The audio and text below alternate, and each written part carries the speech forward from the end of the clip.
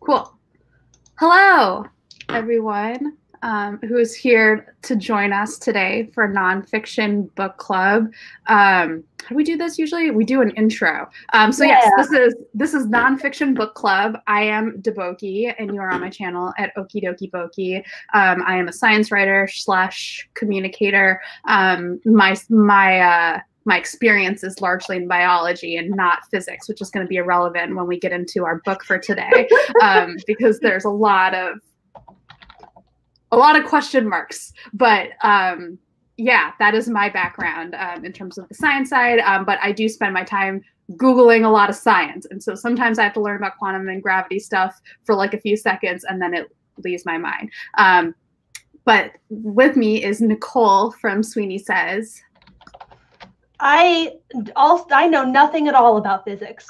Um, uh, is a oh you know I just had the thought actually I bought um when I so I, I'm a video producer. That's just my introduction. I that's what I do for a living. Um, I produce educational videos. And uh, when I first started working on Crash Course I uh, didn't we were working on anatomy and physiology and astronomy were the two things that we were doing. Uh, anatomy and physiology truly did not understand anything that was happening. Like i stood in the room and i was like i don't know man. Uh, epithelial. Uh, i can tell you a lot of terms um, but what any of them mean? Nothing. Astronomy i like started out like, okay, I kind of understand this, and then not at all. And so after that, the next two things that we started, I bought a book for each of the next two courses because I was like, I'm going to have knowledge, and then I never opened them. So somewhere around here, I have um uh, a like, it was like, I don't know, I Googled like physics, like if you, I don't know anything about physics, like yeah. physics type books. Uh, and I just remembered that I own that, that I, I never opened it, never, never, never touched it. So anyway, um, that's, I my background is in sociology, um, and I have a bachelor's in sociology and a master's master's in communications. So people stuff, that's my jam. Uh, science, and physics is not people, just for the record. the physics is too much away from the people. I, am sure the physicists disagree. Um, so I apologize in advance. Um, but the reason why we keep on talking about physics and our lack of knowledge thereof is because today we're going to be talking about um, The End of Everything, Astrophysically Speaking, um, by Katie Mack. Um, so this is a book about the end of everything astrophysically speaking. It's about the physics of the universe and basically how there are all of these different ways that our universe could end. Some are billions of years away in possibility, and some of them are more.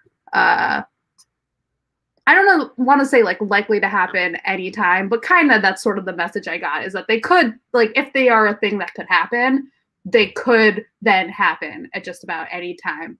Mm-hmm. Um, yeah. So this is written by Katie Mack, uh, or Dr. Katie Mack. She's a theoretical astrophysicist um, out of North Carolina State University. So she does like the the astrophysics stuff, but she also does a lot of like science writing, science communication stuff. She's on Twitter at AstroKatie, and this was a new release. So I was like pretty interested in it because I feel like astrophysics is a thing that to me is just a word at, at a certain point where I was like. I don't know if I could tell you completely what that means. I know that there is the astro and there is the physics. Mm-hmm. Um, and I don't I know what those words mean individually, but you put them together and I can like approximate it. but can I tell you what it is? Hmm, no. Um, yeah, so I, I'm curious what your um, like you said, you you you had the physics books in your in your house, and yeah. that is your physics. Uh huh. Yep, physics books I've never touched. Um, yes yeah, I don't know, man. Like I I I think I find all of this stuff super interesting.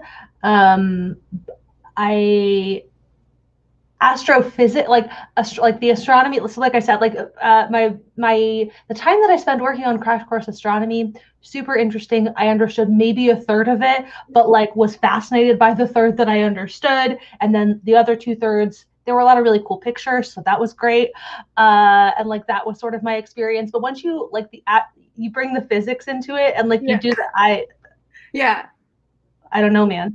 I yeah. will say, in spite of that, um, this I had and the experience reading this was in some ways similar to the experience that I had reading um, the microbiome book. the uh, I contain multitudes. I contain multitudes. Um, in that, like that also, I had the experience of like he's doing he's explaining something right now that I do not understand, and I'm like I'm like kind of glo- like mentally glossing over this section mm-hmm. but then we're going to bring it back around to like I- will get i'll get a gist of something from that um only like less like or more i had that more here like yeah. in, in the in that book i felt like the the stretches where i spent confused were mm-hmm. shorter um whereas with this it was like okay this is like pages and pages of, of physics and i maybe yeah. sort of like caught something, but also, but like I can tell you, I can give you, you know, like a one to two sentence summary of the different, you know, ends of the like I get the gist of it. Yeah. But any of all of her explanations of how it works, I have I have no idea. I have no. Yeah. yes, I I'm so I've like I have taken like quantum class. I mean, I've taken like like in an engineering school the quantum classes that are geared towards like freshmen so i've like under like i've learned the basic vocabulary that i'm supposed to know in terms of the words and the equations but it's been a long time first of all and second of all i got by on like pass fail in some of these cases or like really just by the skin of my teeth um, i feel like quantum is like one of those things where it's like always fun to think about but the idea that i have to like apply the words that i've just been taught is like a little bit sketchier. Uh, so as like as you can tell if you're watching this neither of us are going into this with a lot of expertise um, but to clarify i also never took a physics class. Mm. like never uh th- yeah my like science background is like very very minimal. Uh so Cool. So we are all, I think, with Mari, Jocelyn, it seems like we're all in a very like similar place. And we're gonna, I think what we're gonna do today is we're gonna like really lead into the like physics therapy hour of like processing like what we learned, how we learned it, uh yeah, and what it means for the universe. Um, so I figured the easiest way was just gonna kind of like follow the trajectory of the book itself, sort of. So we're gonna kind of start with like talking about like as she goes over in the beginning, like kind of how the universe started, because apparently to talk about how the universe ends, we need to first understand how it all got kind of put together, um, and then go into some of the uh, the initial kind of grouping of like ways that the universe ends, and then like another sort of like more what I think of as like the more physics thought experiments approach to think about how the universe ends. But I guess all of these are technically physics thought experiments, which like having spoken to exp- like physicists who do these thought experiments all the time, I'm just like, right, this is this is the way you guys understand the universe, and it is so foreign to me. Uh, I think like just before we go into it, um, like this book is obviously like she's she's broaching these like really big picture questions, um, and it's kind of like a lot to process. But one of the things that I found really interesting about it is like really she's using the end of the universe to like teach us other concepts in physics, which whether or not we, we get it all is like, you know, going to be a very thing. But like, I, I thought that was like a really interesting approach to the book overall. And just kind of that's also how she wraps it up. That like really the point of asking these questions is to understand all the intermediates, even if we don't know what that ending question actually or ending answer actually is. Mm-hmm. Mm-hmm. So, with that said, um, let me make sure. I've got like two sets of notes. I've got like the big picture summary, and then I've got like another thing that's just like all of the things that I feel like I, I'm supposed to have learned. Um, so starting off with like the history of the universe, I, are you like the Big Bang is a word that I feel like I've heard a lot, right? Yeah, like yeah, yeah. That, I know that one. I know about yeah. it. I heard about it. Yeah, yeah but then like there's this whole timeline after the big bang. Mm-hmm. and this like is something that came up in like work with, for me recently where like someone asked a question about like what could you see in the big bang? And like it turns out you could not see anything for a very long time because the initial big bang is just like it's really really really hot. There's a lot of stuff but it's just like spread out and very hot. And like it took I think like billions of years to get to the point where things came together to form stars. Like that's like how long it took for us to get to like light. Mhm. And that's like a weird thing. Um, but I think one of the things that's interesting to me about this early timeline, there's this so there's this initial super hot high energy state. One of the things I didn't know is there's like apparently all the laws of physics become weird at this point. So like we have like stuff like gravity. There's like a strong nuclear force, like electromagnetism and all this other stuff. And at this early state of the universe, they were all kind of the same, except maybe gravity, which is weird. But it's just because it was super high energy. And then eventually the innate the the universe starts to inflate, but it also starts to cool down. And then we get particles. And that's like we get to a certain point where there's like enough like of a cool temperature and like particles to actually make like normal physics happen. And then that's when we start to get like stars and light and galaxies and like that's like what gave rise to the universe. But like what they call in physics terms like eras are things that lasted for like fractions of a fractions of fractions of fractions of a second. Yeah, that whole that whole like the time when she was explaining the time of that, that was like that was the the moment that it really clicked for me that I was in for uh, a ride of like confusion. Yeah. Uh, I was like, "What are you talking about?" Uh, Yeah. uh, yes, yes. So very very wild, wild time scale. Yeah, so there's like this first gut era, which I guess is called it's the gut era because it's like the grand unified theory era. So I guess it's like when all the forces were the same. Um and that was yeah, 10 to the minus 35 seconds long. I don't understand how you call that an era.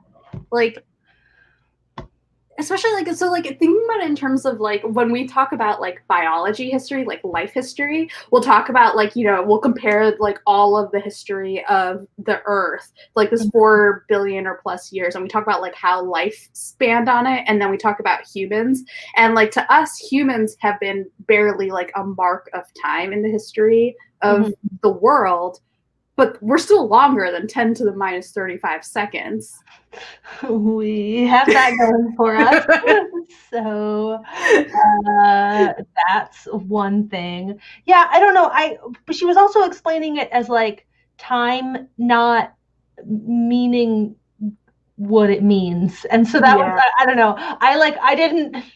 I didn't really dwell on that. That Yeah. was like in the section of things that I was like, I don't, you know, uh, Yep. you, you're introducing um, units of time that don't make sense to me, but you're also telling me that like time didn't really make sense in this. yeah Uh, so Yep. I'm gonna I'm gonna choose to just okay. That's Yeah. information that I I took in and. yeah, so I think like the other the other side of this that's like weird and it's everything with this stuff is like if I think I get it, I that's like I know I didn't get it. Is like the idea that like when you're thinking about space, time and distance are like the same thing. And this is like a thing that I know because it's like come up enough that I'm like familiar with the concept. But like it's brought up in the beginning with this book and she's talking about how we know about the history of the universe. But I still feel like I don't know. It's just like I, I just I can't imagine like that you have your normal work, your your normal life, like where you're not a physicist and you're like time, distance, two separate things. But then you like go to work as a physicist and suddenly they are the same. Like a light year is a measurement of time, but also a measurement of distance. That like if light has traveled a certain amount of distance, time, either one. At this point, I don't know which one it is that means that you can tell how like what you're seeing is actually from x years ago Mhm. so in space time is distance and distance is time Yeah. Yeah, and like having to having to internalize yes, having to think that way uh, in your nine to five job uh, as a, Yeah. I don't know what I don't, I don't know what uh, uh, a day in the life of of a physicist looks like, but uh, and then like you have to go back to your normal life where um, time and time and uh, distance are meaningfully discrete ideas. Yep. so uh, please, please do not try to collapse them. I did actually. I stopped. I like. I like had this moment where I like had to like sit and I was like like thinking when she was talking about this is a little bit later in the book, but the the idea that stuff that is farther away can be brighter than stuff that is closer and i was like i was like okay so like if this is like us and then like at the beginning we're like Yeah. here and then they're moving like okay yeah, and she like actually says like you know if this is confusing, maybe bring up some napkins and it, and maybe it will make sense eventually. and I was like, yeah, yeah, I think that's I, I think that's what I gotta do. That's the only way this is gonna make sense to me. uh-huh uh-huh Actually, Um, that was one of the few things that she, one of the few things that I did actually underline. Oh, I found it so easily. Um, I wasn't expecting that because I don't have my little tabs. But oh, this yeah. Beyond a certain point, the balance between the universe was smaller in the past and light takes a certain amount of time to get here is such that the galaxy is more distant. One hmm, that a galaxy that is more distant than another galaxy now might have actually been closer when its light was emitted. That was I like underlined it and then I like proceeded to sit and like try to parse what was being said. Yeah. Yeah. And there's so many times where like I read a paragraph in this book and then had to go back to the beginning of the paragraph to be like, okay, did I did I get that? Um, oh yeah, with that said, uh, for those of you watching, if you guys have questions, um, a thing that I have become trained at is googling these things very efficiently so if you like don't understand something or like we're talking about something and you want to like try to like figure out more about it like let us know and we can like tease it out and see if we can figure it out because i I can't. But J- Deboki's generously including me in this problem solving. i i think the more people who are involved in this the better because especially it is so easy for me to lean into like like i remember i was having a conversation where i was like answering like a question related and i was like oh yeah it's something about the gravitational well potentials and hank was like so Deboki, what's a gravitational well potential? I was like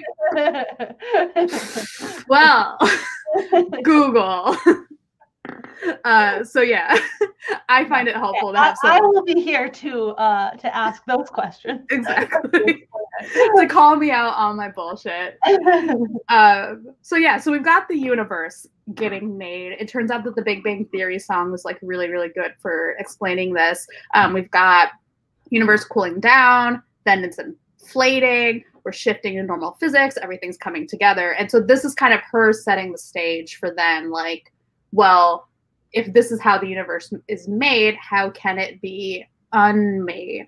Um, and her three like i think the next three chapters like chapters three through five are like sort of like all kind of related because they're all sort of connected to how we understand that the universe is expanding um, so there's three ideas there's one called the big crunch which is basically that after a certain point the universe is going to stop expanding and is actually going to begin contracting and that is our crunch. Um, and it turns out that basically if that happens space gets set on fire. Like i think that's how she described it or i'm paraphrasing it but like that is what will happen is everything gets hit on fire.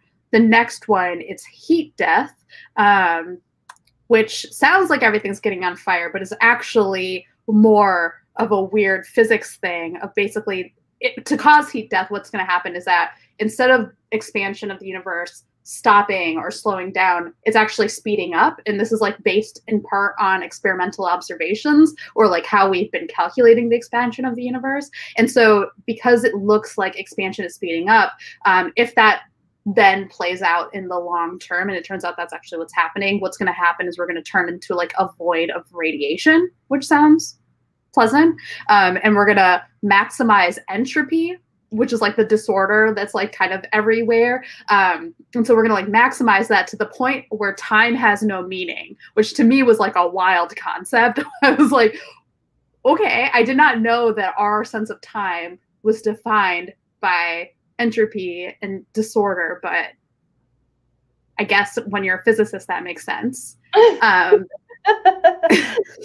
and then the last one was like the oh the last one in this group is the big rip or that's what she calls in that's um basically based on dark energy which is like this field. What was dark energy? I, I keep confusing dark matter versus dark energy. The, so dark matter comes up as a thing that like basically made it possible for galaxies to form. Um, but dark energy is like a field. Oh, dark energy is the field that's responsible for the expansion of the universe. And it turns out that if there is like a parameter describing dark energy that is like just slightly off, then at some point 100 billion years away from now, like everything is going to unravel. And that is then going to be how our universe ends. Um, I yeah. fully understand the distinction between that and heat death. That I was I got a little bit caught up. I like I understood that like math was different in in meaningful ways, but I didn't really I'm like confused. That confused me. Like what Yeah. distinction between the big rip and Yeah, that's a good question because I, you're right. Because like it feels like at that point, the point is that we are still just expanding and things are drifting away. But like for some reason in the Big Rip, Earth explodes, and that did not happen in heat death. Um, True. True. that is like what I took away from that. Uh-huh. Um, yeah. Okay. Yeah. Sure. Sure. Sure. Sure. Yes. Yes. Yes. Yes. um. Okay. That's good. I I'll put put that in my notes. Big rip. Earth, Earth explode. explodes. Death. No Earth explode. Well, and and I Um, think related to that, the time scale. I So thought, wait, wait, wait, wait, wait. I thought she said that in any of these three scenarios, um, uh, the sun will destroy us before any of them happen.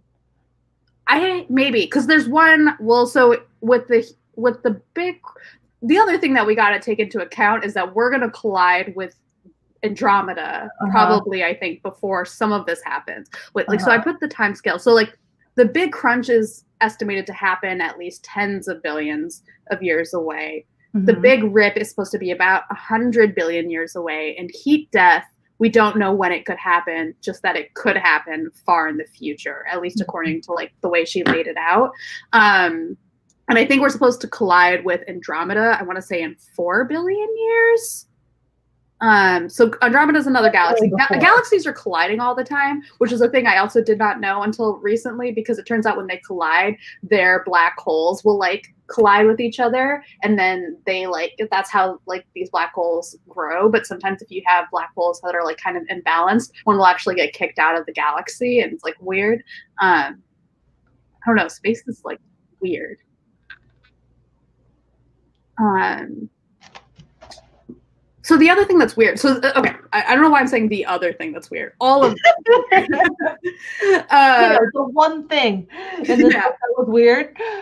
So okay, so heat death was kind of like the most interesting one to me because it also led to this universe of just like everything is just radiation, but she uses that to talk about how like okay, you're to just have like this low temperature radiation world left, but and, and it creates what that's called I guess a de Sitter space. Um but because of the way that this universe is left, you could actually then get universes again um, and it's based on like the particles that are like remaining and this whole thing of statistical mechanics which like was a very long class that i took in, in undergrad that i cannot like basically statistical mechanics is basically appro- applying like probability to like the maximum like in the universe as i understand it. Like you're just like everything is a probability and you're just predicting what can happen just like how particles can be arranged in a state by basically rolling die but like with fancy math.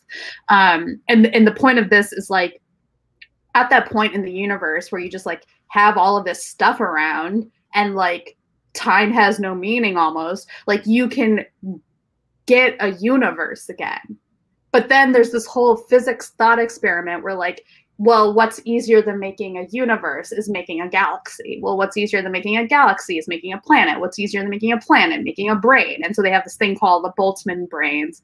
And first of all, this is why no one likes physicists because they do these thought experiments. But also, like, it is a weird thought experiment. It's probably interesting and like useful in some way.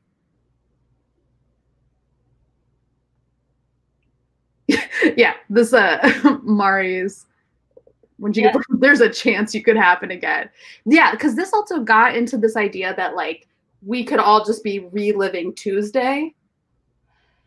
Like that is a thing that could happen in the universe because probabilities are Uh-huh. wild. Uh-huh. Yeah. Yeah. It's that's a it's uh is it an interesting time to be reading about that idea. yeah. you, you mean you could uh, feel like you're stuck in the same time over and over again? You mean time has no meaning? I wonder what that's like. I can't imagine. Uh, okay, I'm gonna try to figure out what the difference is between heat death versus The big big rip. rip. Yeah. Um, yeah the the idea of like happening again yes super fascinating super interesting that kind of stuff was also my favorite part of this book that like when i like i understand to your point that she was using all of these things really as a way of like teaching these physics concepts um, and i think that that was really great and if i had more of an interest in physics i would have appreciated it more than i did um, However, I, with my limited interest in physics, um, to put it generously, preferred the. She she did also kind of like when she brought it back around, um, you know, to the point of like, okay, now I'm starting to get like the gist of what all of that means. Uh, she also paired that with really interesting.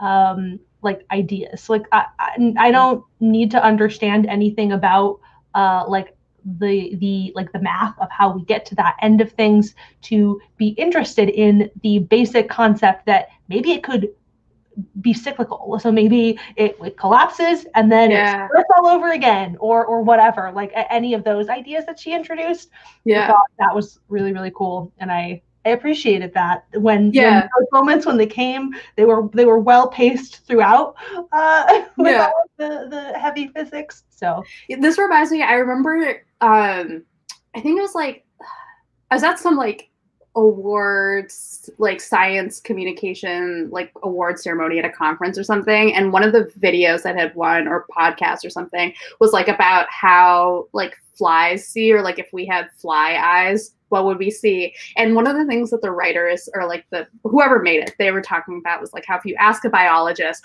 they're never going to give you a definitive answer because like when you're coming from that side like you you don't want to speculate that way and you definitely don't want to speculate in public about that way. You don't want to give people like this false idea of like how biology works. Um, but then they were like well you know who loves doing this shit? Is physicists. Like just go talk to the physicists and they will they will be happy to speculate and like go down this weird like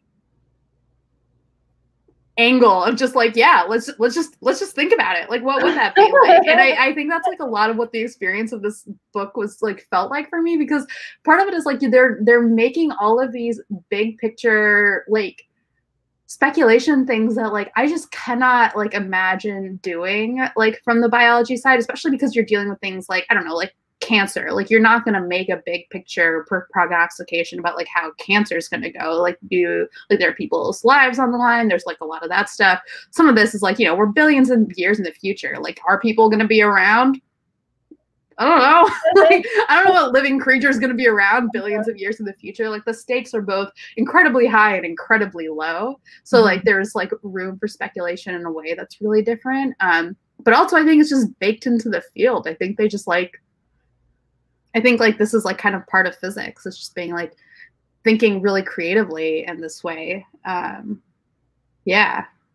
which um to Mari asked in the comments how we felt about the end in general um and, and, like i think like it, that's that is very much like the the the point that she gets back around to with like th- this this specific branch of physics right but like I, I you know to what you are saying you can kind of um apply that more broadly that like there there is a lot of this is like you're sure you're asking questions about stuff that you probably can't really confirm the answer to because you will not be there uh, Yep. and even if you could know the answer you can do nothing about it you can't change it like uh, like but the point is that like by thinking through all of this like you arrive at like better understandings of of like of now and like like there's there's there is a, um, a lot to be learned from thinking through all of that and like Yeah. spending your time working through that thought and like you know poking holes in it and like you know okay but what about Um, and I, yeah, I,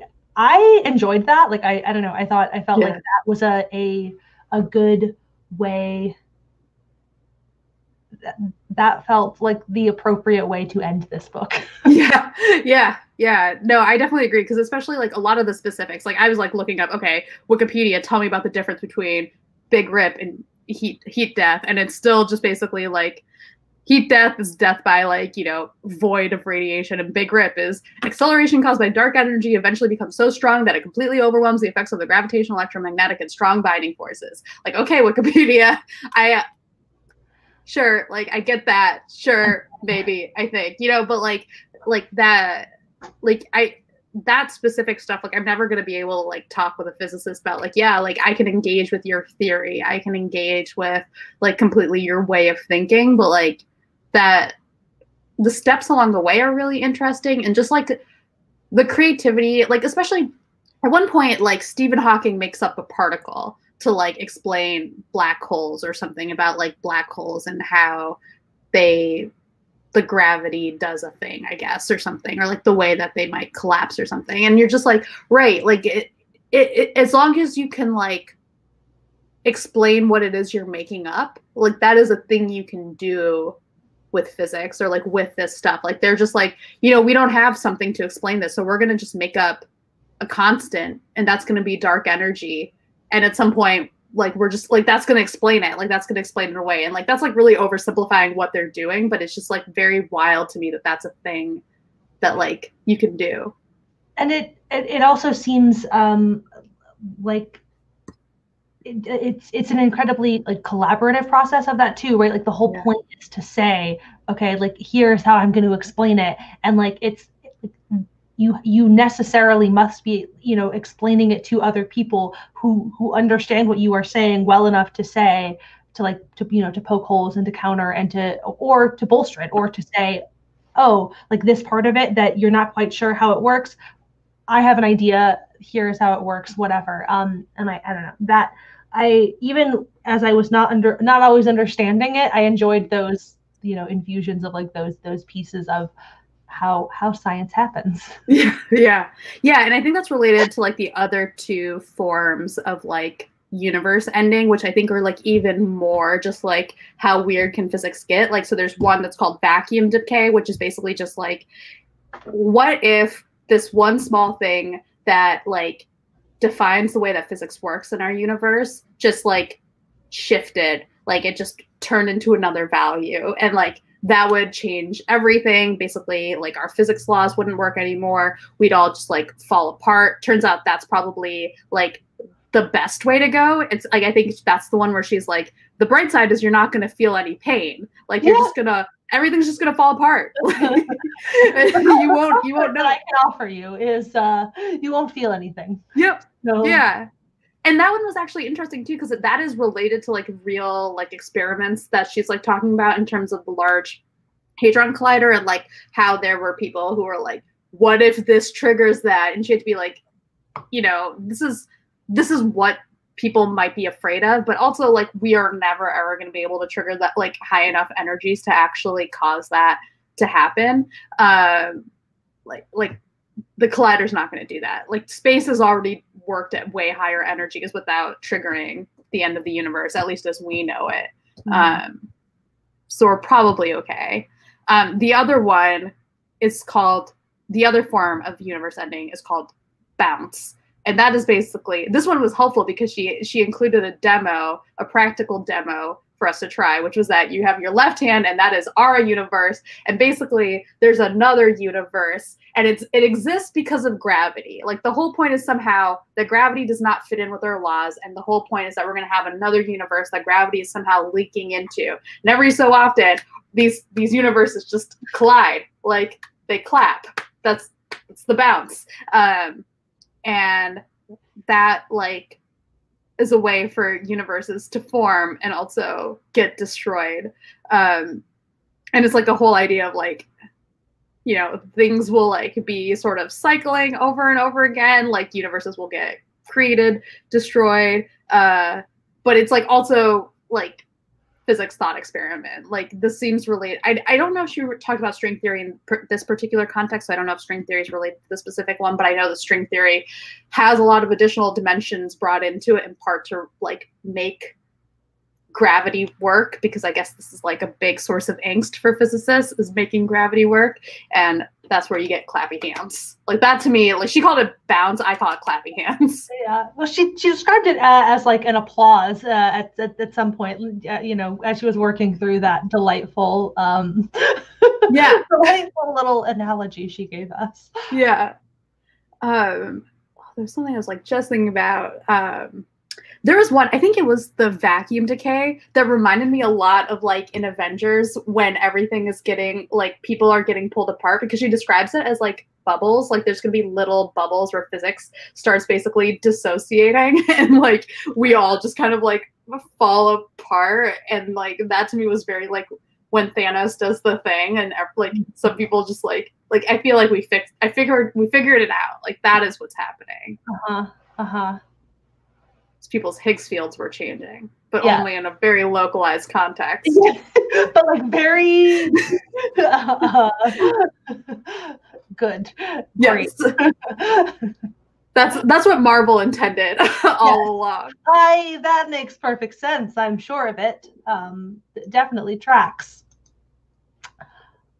So yeah, those are those are the ways the universe can end. those are your options. Um, yeah, the bright side is that the human race seems determined to like ruin this planet first. Yeah. So.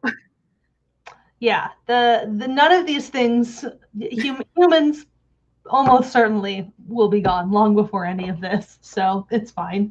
Uh, but if you were a living thing around for one of them, like, I like then there was uh the now I'm I'm this is like I'm I'm forgetting in what what the of the possible end of end of all things scenarios this came up in, but she was talking about the guy who um there was there was one scientist, okay, who was like, maybe at some point we, you know, humanity will innovate enough that we can be sort of like constantly traveling and like stay ahead of the expansion, um, but then the math says nope, nope, not possible.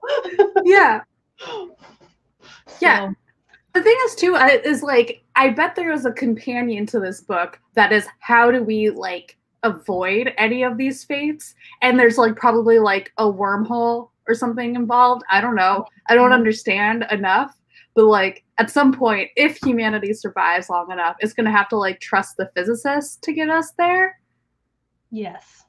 To get us to the wormhole that's yes. going to protect us. Somehow. Yep. Trust the scientists. What if we did that? What if we did that one? Uh anyway. Seems like not a source of resentment at all. Yeah um, I mean, it seems like I feel like vacuum decay to me is the most exciting one. Where like because it's so weird. Um, when I say exciting, again, like that is one of the ones that theoretically could happen at any moment. Like if uh, there's a quantum tunneling thing that can happen, apparently, like where it can just be rude and like our whole Higgs field changes and that changes all of the laws of physics at once. But like I feel like if we're gonna go out, I feel like undermining the fundamental laws of our physics. Yes. To me feels like poetic the when she was talking about like objections to uh to like the the hadron collider and stuff i was just like I, all of these things that you're saying like we might break physics uh, yeah. I, like all of that sounds to me like yeah do it yeah. yeah. yeah. yeah, yeah, this is like years of resentment with physics like fuck mechanics fuck newton fuck einstein get rid of it all we're gonna destroy all these equations and just go out like drop the mic, and we didn't even do anything. Like, unless it turns out we did do something. But this sounds like this is a thing that's going to happen. Apparently, vacuum decay is not going to happen. As much as like I'm rooting for that one, like yeah. we need like what like microscopic black holes or like a fuck ton of energy. Mm-hmm. Um, and or quantum tunneling. Yeah. In my notes, I've say the cold comfort is we probably won't ever be able to trigger our energies that high unless quantum tunneling or microscopic black holes, Mhm. which apparently are cute. That was another thing that I learned is that if you're a physicist, microscopic black holes are a cute thing. They sound adorable. yeah. so you know uh yeah um unfortunate because yeah i'm also i'm also very heavily yeah team team vacuum decay that sounds Yeah. Yeah. All of you watching, if you want to vote for your favorite, you can't do anything with your votes. Right. Um, and hopefully there's no like physics overlord who is like, cool, we have registered their preferences. We're gonna we're gonna speed this process up. But Mhm. um, between what was it? Universe contracting and so setting space on fire, heat death, which is like void of radiation, big rip, which is a variation of heat death, which we don't completely understand, vacuum decay, ruining the laws of physics, or bouncing different dimensions off of each other. Those Okay. are your options. I I take it back. Bouncing. I, yeah, I gotta I gotta go bouncing. I gotta go. Big, I gotta go. Big applause. Yeah. Uh, big cosmic applause. Yeah. Okay. Yeah. I, I take it back. I'm I'm I'm team bounce. Um, Okay, if, if I were casting a preferential ballot, vacuum decay would be number two. But- Yeah, ranked voting is important. Massachusetts did not pass ranked voting, and this has like been like a sore spot for me, and this is reinforcing that. I don't know if we were gonna use it for this, Yeah. but yeah. Okay, we got a question on what's so different about a microscopic black hole from a regular black hole, and that's a really great question that I am going to quickly uh, try to figure out. Um, because I think I had. So so okay, so basically the point is that black holes form um, with larger masses, so they're the result of like a large star collapsing, and we cannot form tiny black holes. Like we can't form um, black holes out of smaller things. Um, I'm gonna guess it has something to do with like that mass and energy. Like maybe there's something about you need a large amount of mass to create like enough energy to form a black hole. I'm not completely sure about that. Um, black holes are not my strong suit. Um, She was also saying, if I recall correctly, while you are looking it up, but that it like it, if it were possible, it would have already been happening, and it is not like it has no no consequence, and therefore it's this it amounts to the same thing. Like either it's impossible or like it's happening and it's irrelevant. Uh, yeah. yeah.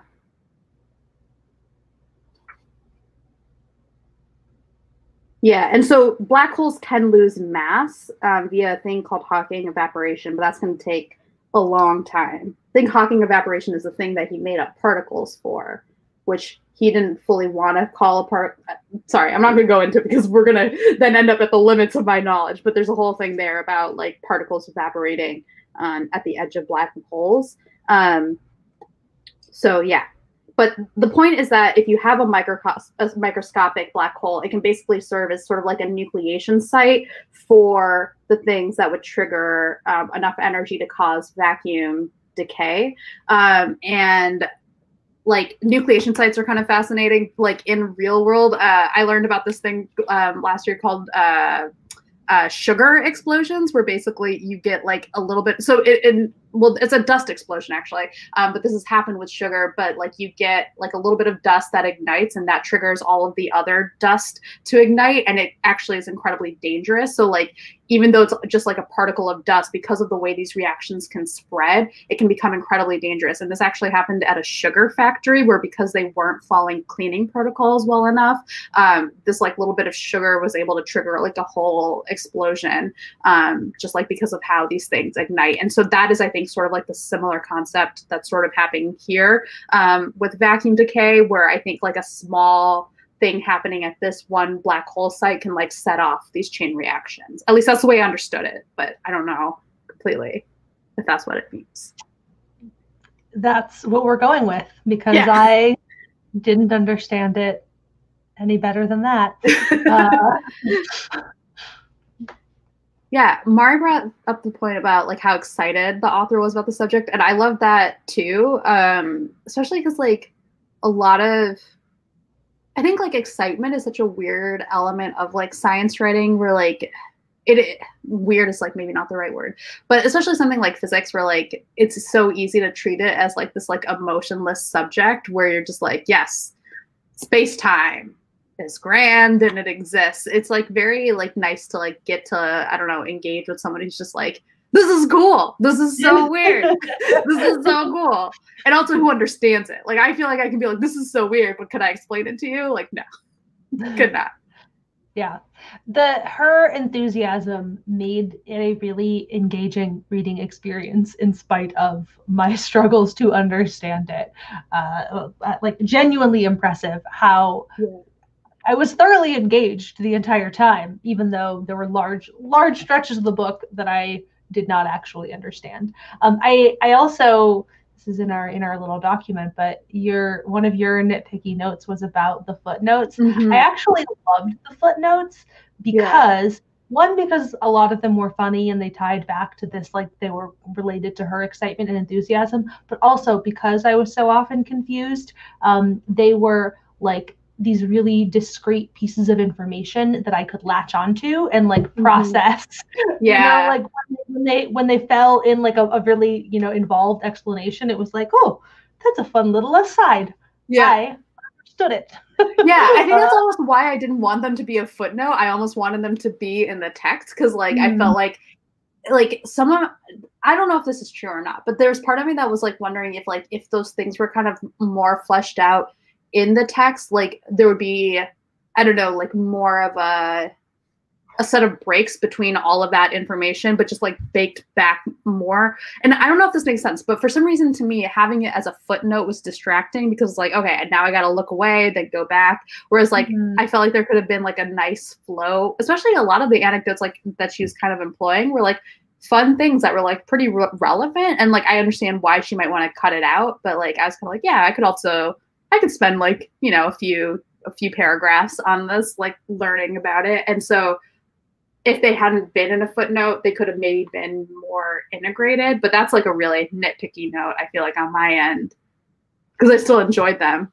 I also think too though that like I think that even if that even so, like I think this book is really short by design. Like I think yeah. it, it feels like again, because there's a lot of physics here, right? That it's like it's how like keeping it compact on purpose so that yeah. you know if, if it were much longer than this i sure. feel like it would be a lot easier to be to feel overwhelmed by it yeah um, so i also to the note about the speaking about the footnotes i as always also was listening to the audiobook and it was really interesting um the flow they were they made like very individual and specific footnote by footnote decisions about how and when about when they were going to insert them in the audio narration. So like sometimes it was like it, it the footnote happened you know like literally okay here's star then she started reading it.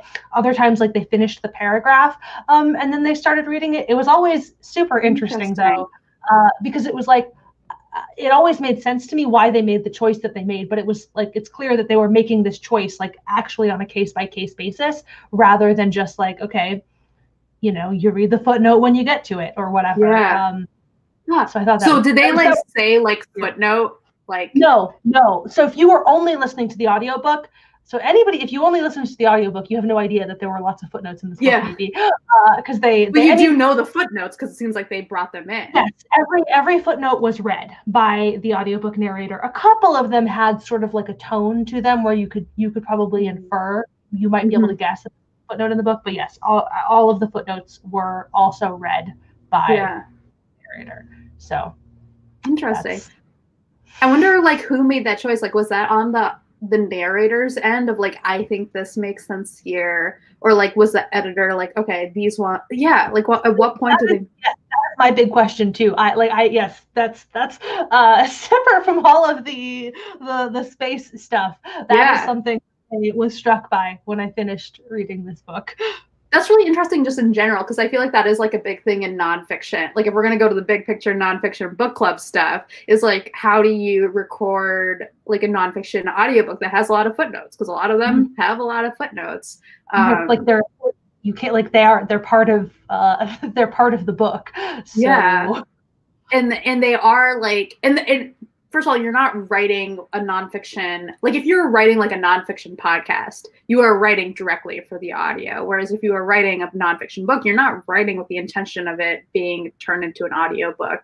So like, yeah, like who makes that choice? Someone tell me. yeah. yeah, it's it, it feels like it feels like Katie Mack would have been involved in this just yeah. because of how organic the choices felt. Like yeah. every one of the choices felt correct to me about where like it, it, it threw me at first just because like I did not always know yeah. when to expect it. Um but like I yeah, uh, they all they all felt like yeah, that was correct. That was you needed to finish that paragraph and then you could go back and, and add this thought or like that was a thought that needed to be said yeah. right away. Yeah. I don't know, man. That's really interesting. Um, so we've got like 10 minutes left. So we, I think we can do our like, how do we feel about the book thing? And if anyone wants to add any thoughts or add any questions, anything else you want us to talk about, anything you want me to quickly, frantically Google, um, I can do that. Um, but yeah, what, how'd you feel about the book? I liked it. Um, I yeah, like generally speaking, I liked it. I think that I there are ways in which the book like wasn't really for me mm-hmm. just because my not only both knowledge and interest in physics is just yeah. so low that like you like yeah th- there were places where like the, anything that I didn't like about this book wasn't about the book it was about me you know yeah. like me and relationship with the material. Yeah. Um, but broadly speaking, I like the the writing was delightful, um, and I I like I enjoyed I don't know just like the the the I, I generally enjoyed this experience. Yeah. Yeah, I think I'm in a, a similar place of like, well, so I think I got I actually got more physics out of this than I like would have expected. And like i think it helped that i had sort of like a background experience of physics of not like i understand physics but like familiarity with like some of the concepts. Um so i actually like i i expected to enjoy this book on the side of like in like learning about the universe. I didn't necessarily expect to enjoy it for the physics and i was surprised by how much i enjoyed it for the physics. Um and kind of being like at the end of like each chapter like turning to my husband and being like did you know this thing? And then he would ask me a question and be like, so what does that mean? I'd be like, I don't know. But did you know? I just told you the extent of what I know. Yeah. Uh, be excited with me. And... Yeah. And so there was a lot of that that was really, really fascinating. And I think in general, like space to me is just so wild and I don't get it. So like that was like a really, a really good experience. I feel like this is one of those books that I would always think like I should read it and never get around to reading it. So I'm glad that like this is the context that I chose to read it in because I also needed to process it. Um, yeah, there's like a whole separate conversation probably about like what is the right audience for this book because I'm kind of like the physics is like I think she did a really good job of breaking down the physics to the extent that is like possible to break down the physics, but there's always going to be that kind of like point at which like the physics is just hard because it's physics and it's like a very different way of thinking. And so I'm like kind of curious, like, not that we're going to answer this question, but just like in a big picture setting of like, what is what is the audience for a physics book like this? I guess mm-hmm. um, because mm-hmm. it, and maybe the the more interesting question then is like, if you are someone who really really knows physics, is this book still really interesting to you? Um, which it might be because like we all have like even if you're in a field you might have your own specialties and stuff. Um but like do you still get something out of it? Like if you know the physics is there still something new is a thing that i'm curious about and we'll never know. Alas. Yeah. Uh, I, I will not come at this with that physics. Uh, the point about like you know uh, appreciating reading it in this context uh, excuse me i will also say that like this i'm i am also really glad that we read it too because it is another one of those books that um it's like i don't know the our, our sort of like guiding idea here like part of why you and i are i mean you're my friend and I like talking to you is is like obviously like that's like reason number one. But also like we we are picking stuff that the other person would never pick, and so like that's mm-hmm. like that's also like part of the point um, is that our lists are by and large. Um, I think you own one book that I on my list.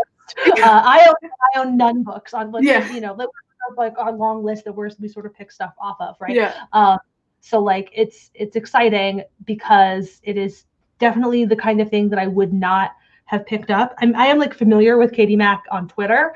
Yeah. Um, I know her as a as a Twitter person, and so it's like the kind of thing where I would have been like, oh, that seems interesting, like, but Yeah. would never actually take the extra step of like, I will read this. So Yeah. um, It's like one of those books that I would have been like, I know that book because I have heard a lot about it, and like I would assume that somehow that means I've read it. You know what I like? I don't know if you've had that feeling where like you've just heard about a book so much, where you're like, yeah, well, uh, I have, and to put a pin in that thought because.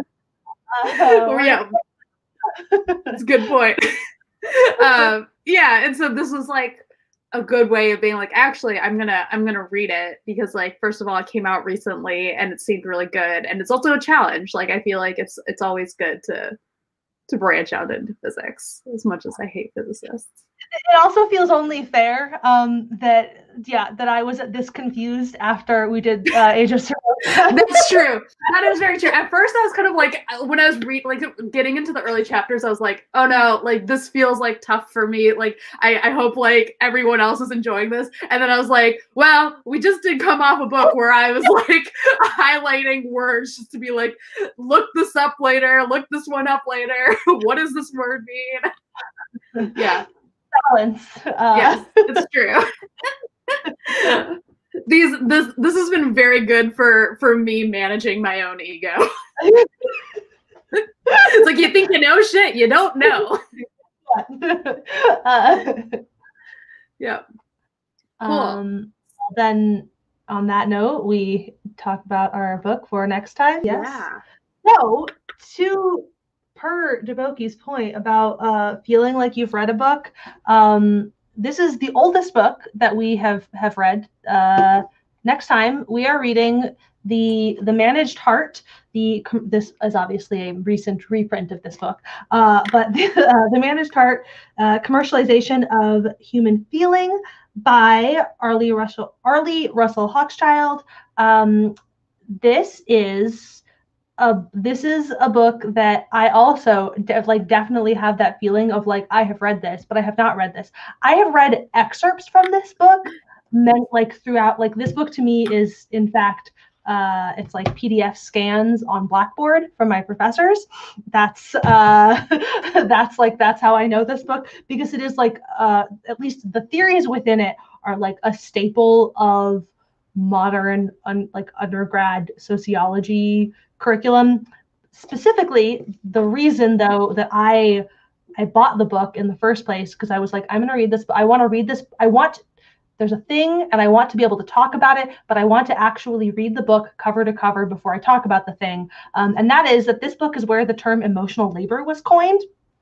Uh, the short version of the thing, um, and I, that I'm sure we're going to get into at great length uh, in a month, but is that like conflating, talking about the shitty dynamics in your friendships um, and use and referring to that as emotional labor, uh, like did is actually a problem because you are burying the labor component that is like really really essential and central to uh, like the meaning of that term uh, Mhm. and it has it has that has implications that we'll talk about when we talk about this book. But so anyway next time the managed heart commercialization of human feeling. I have a feeling that I've, i have read more recent books of hers like actually cover to cover too. Um, and generally i have found her writing really like accessible. So i'm Mhm. hoping that this is not going to be uh, like a repeat of last And month if it isn't, that's fine. We're just gonna escalate this. we're gonna every book we're gonna make it harder and harder. We're just like gonna be daring each other at some point to read it. Yep, yep. Anyway, well, that's what we're doing uh, uh, on December 12th, same time on my channel. Yep. That's Cool. it. Thank you guys for joining us. We'll see you next month.